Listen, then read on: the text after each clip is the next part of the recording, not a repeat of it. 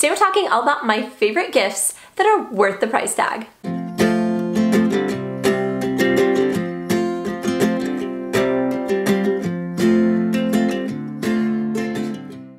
Hey guys, welcome back to my channel. My name is Nicole and on this channel we talk about everything from product reviews, bag reviews, and much more. So if you're new here, definitely consider subscribing. Today we're gonna talk all about my first gift in a series of gifts that I'll be sharing on the channel that are worth the price tag this holiday season.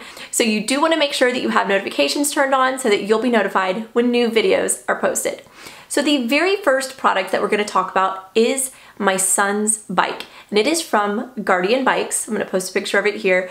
And um, it is hands down one of the best investments that you can make for your child because it has safety in mind.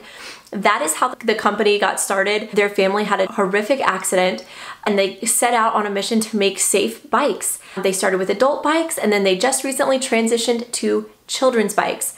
And one fact that I did not know is that over 300,000 children a year are injured on bikes. Um, it is the number one kid activity that lands children in the emergency room. So it's definitely worth the penny. Let me tell you the things I love most about this bike. First and foremost, it is sized perfectly for my child.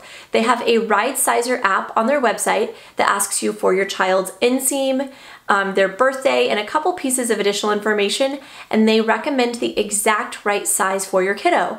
Instead of going to a big box store where every size or every bike is kind of one size fits all, you just pick the color you like. This bike is specifically sized to fit your kid. Um, what I also found helpful is when my child was learning how to ride the bike, we took the pedals off and lowered the seat and he was able to use it as a balance bike so that he could learn more effectively. And on their website it said, gave a little tip to like start on a sloped driveway and that made all the difference for us. So um, Jake has been able to transition from a balance bike to riding the bike. We just put the pedals back on. Seriously the best. So instead of investing in two separate bikes, a balance bike and then a bike with training wheels, you can actually get one bike, remove the pedals, start as a balance, and then transition to a two-wheel bike. So I 100% absolutely love it. They have two colors to choose from and everything is gonna be linked in the description box down below for you to check them out. All right guys, so that's it for the video today. I hope that you enjoyed it. If you did, be sure to give the video a big thumbs up and subscribe. Don't forget to check down below in the description box for links to the bike, comment any questions that you might have, and I'll see all of you guys again in my next one.